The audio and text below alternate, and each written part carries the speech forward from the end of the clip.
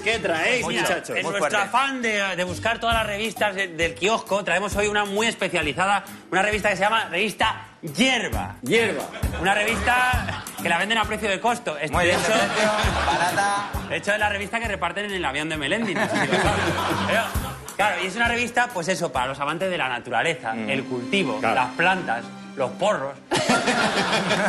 Sobre todo los Sí. porros. Pues los porros les encanta. También la comida, ¿por qué? Porque han fumado un porro y les sabe más lo- rico. yo lo- rico está, madre Me han, hambre. me han dicho, pero a ellos no les gusta llamarlo porros. No. Lo llaman la contracultura. ¿Ves? Lo ponen en la portada. Mm. Es la revista- información de la contracultura. ¿vale? Contracultura. Ya sabemos todo lo que quiere decir la contracultura. Bien.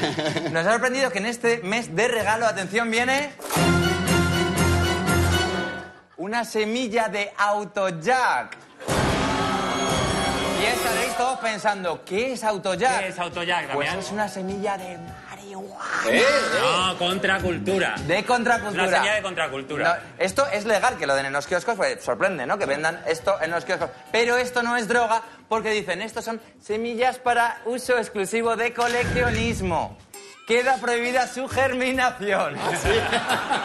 Esta semilla te la doy, pero no la plantes. ¡No la plantes! ¡No la plantes! No la colecciones en una maceta, no vaya a ser que germine y te crezca algo como esto. ¿Vale? no, no querés, Una frondosa planta.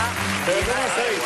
Porque, o sea, primero enfadasteis a, a los cazadores. Pero que no estamos enfadando Ahora queréis a nadie. enfa- enfadar a los fumetas. Los fumetas no se enfadan nunca, Si Pablo. solo queremos que tengan cuidado. A ver si les van a dar una semilla de colección, se les va a caer en el, en el campo y les va a salir una Sin planta. querer que- la planta y dice, a que ver si eso me la sí es fumo. ilegal. Un Pero llueve. hay que tener cuidado, porque, por ejemplo, hay una noticia que viene en la revista Yerba que nos ha encantado. Atención al titular. Dice, un hombre denuncia un robo y es detenido por cultivar. Os-. Te cuento un poco la historia, yo me la he leído, la resumo. Vale. Había un tío en su casa y dice, "Oiga, me han robado. Llamó a la Guardia Civil. Entonces llegó a la Guardia Civil a su casa y le dijeron, efectivamente a usted le han robado, pero nos hemos dado cuenta de un pequeño detalle, de que usted tiene 71 plantas de marihuana.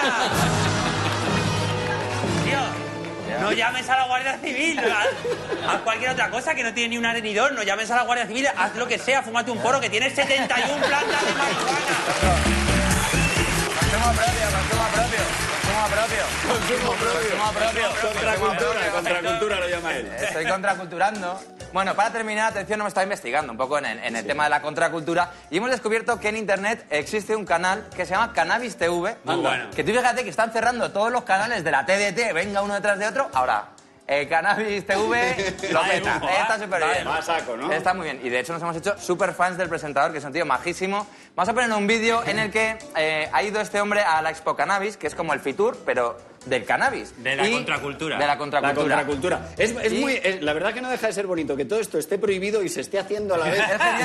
Sin Me ningún encanta. problema. Bueno, pues fumar porros está pasado de moda. Ahora se hacen otras cosas. Vamos a ver lo más avanzado que nos lo presenta nuestro presentador ¿Cómo favorito. disfruta, eh? Te dije a ver cómo disfruta. ¿Cómo disfruta de este trabajo? Veamos cómo se calienta el clavo de titanio y vamos a catarla, Michael. Ahí le da. Este es el presentador. Ahí Este, está. Mira, mira cómo se pone un poquito bizco. Este está, dando. Vale, se le ha quedado dentro, se le ha quedado dentro. Aguanta. Sácalo, échalo, tío. Échalo. Ahí está. ¿Qué tal? Buenísima.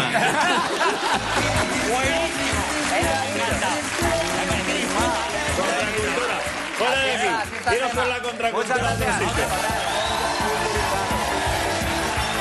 Bueno, bueno. ¿Qué revistas hay en el kiosco?